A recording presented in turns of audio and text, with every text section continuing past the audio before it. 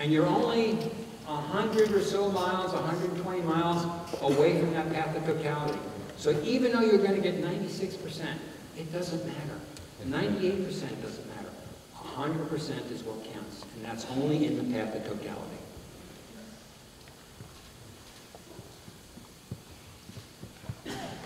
Now, I'll, I just want to point out some resources for finding out more about the eclipse after the talk, so you can start planning and getting ready for that big day next summer. Um, Jay Anderson, who I've mentioned before, the, my meteorologist friend, he has a website called Eclipsophile. And you can either Google Eclipsophile or Google Jay Anderson Eclipse Weather, and you'll find his website. And he's going to be posting weather updates, especially in the week before the eclipse, with links to various weather sources. So that's a good place to keep tabs of the weather. In addition to the standard places like the National Weather Service or AccuWeather or whatever else. Jay's, Jay is going to be posting a lot of stuff, but with an eye on the eclipses, it's the eclipse itself. Another good location is uh, Michael Zeiler's GreatAmericanEclipse.com. He's, he's the fellow that made those graphics that showed the, the population distance from the eclipse path. He's a professional cartographer, so he has wonderful maps of the eclipse. He's got maps of, of the eclipse path through every state in the country, so if you want a nice poster of the eclipse through your state, uh, you can get that from him. And he's got eclipse glasses and all kinds of eclipse uh, memorabilia uh, prepare you for the eclipse.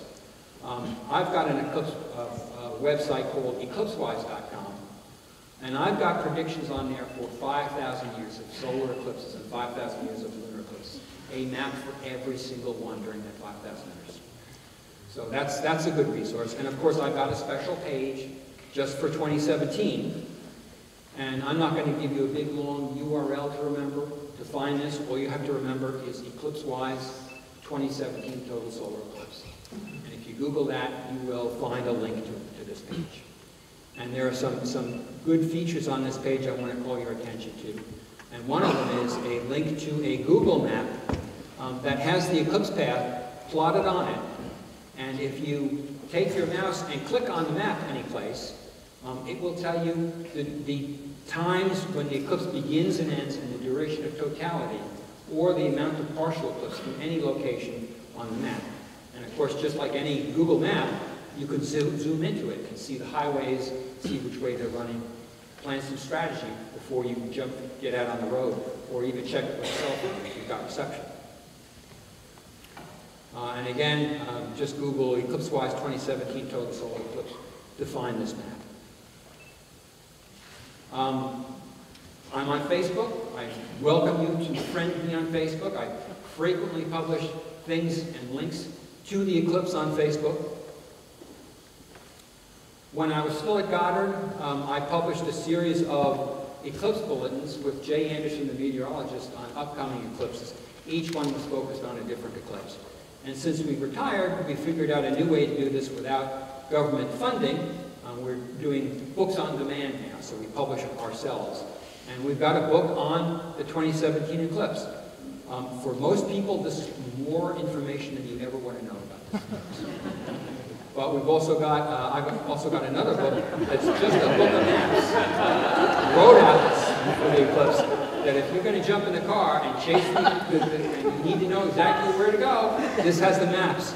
And it even has these, these lines that show you the duration, depending on how deep you go into the eclipse path, how long it's going to be at various towns. My wife has written a children's book, Young book, Eclipses, featuring our granddaughters. They've been indoctrinated into the eclipse, and they're all set to see their first total eclipse uh, next summer. And we've got another booklet with eclipse glasses. And we're out stirring everybody up, getting people excited about it. One thing I want to mention is if, if you live, if you have, if you go to university or if you have a family and, and, and and your children are going to a school where they're starting school or they're starting classes on Eclipse Day, contact somebody now and start telling them, start promoting the fact that there's this eclipse coming, and why don't you start school a day later? Because this is not an event to miss. Now, ours aren't the only books on eclipses. If you go onto Amazon, a whole flood of books are becoming available um, as we speak on next year's total solar eclipse. So there's no shortage of information about this event coming up. In Louisville, the last total eclipse that passed through Louisville was in 1869. The next one is in 2153. So if you want to see the total eclipse, you've got to drive 125 miles south on I-64 and get into the path of totality. Or as we like to tell our granddaughters, we use this analogy. Would you rather look at a picture of an ice cream cone or eat an ice cream well, that's the same argument as do you want to watch the eclipse on television or on the internet, or do you want to taste the eclipse by getting into the path? A total eclipse is the most spectacular thing, the natural phenomenon I think that you will ever see with the naked eye, and it's something you will tell your children and grandchildren about. So please go next summer and get into the path of totality. Thank you.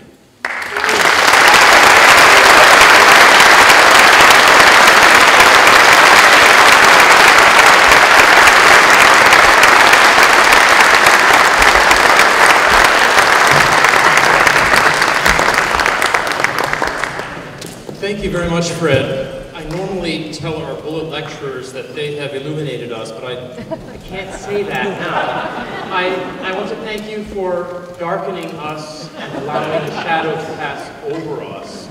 Uh, I think that there is no, uh, no better advocate than, than you, and we are honored to have you here as the, uh, as the world's eclipse expert. And I want to thank not just you, but a few other people made this happen the uh, Society of Physics students, Mortar Board, and the Louisville Astronomical Society all put up posters. Are any members of those groups here?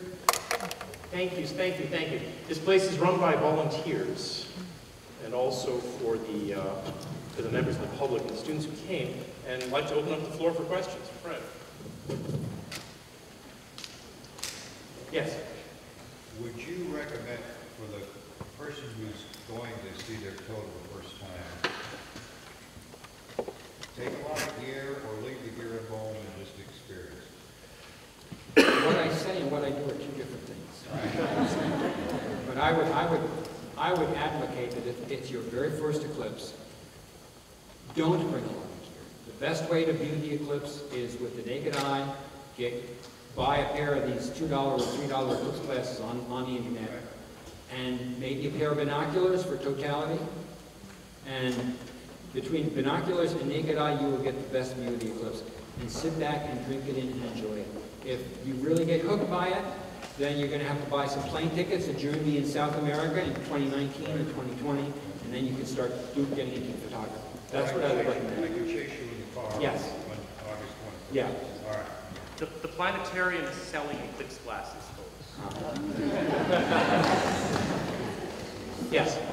Just, just curious, if you're in outer space, do you see a black spot going across the Earth? If you're in space, you, uh, the question was, if you're in space, do you see a black spot going across the Earth? The astronauts have photographed the moon's shadow moving across the Earth, and some unmanned satellites have done that, photographed the shadow moving across the Earth during the total eclipse. So yes, you do see that. Yes. When was the first predicted complete solar eclipse? Uh, that is, that's a difficult thing to pin down exactly.